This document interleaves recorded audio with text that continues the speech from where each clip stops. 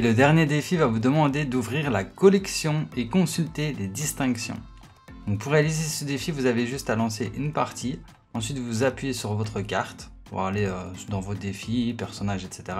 Et là, vous avez un, nouvel onglet qui s'appelle Distinction. vous allez dessus. Et dès que vous allez aller euh, sur cette distinction, là, vous aurez terminé le défi.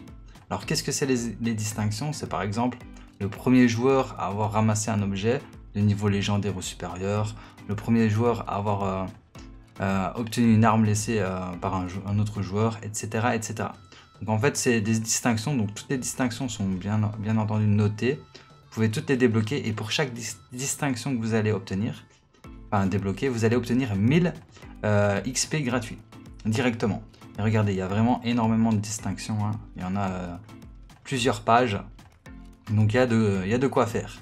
Je sais pas s'il y a une, une récompense